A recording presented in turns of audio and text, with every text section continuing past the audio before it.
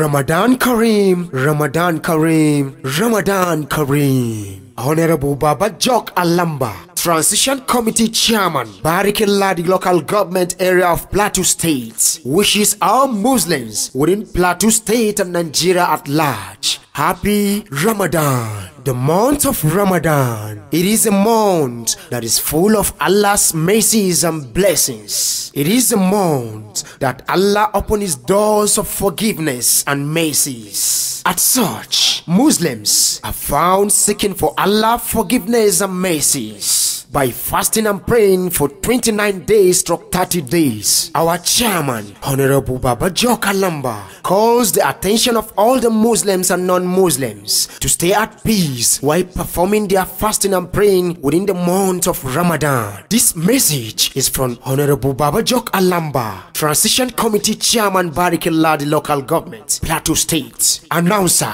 Abdul Big Time, SA to the Governor, Plateau State.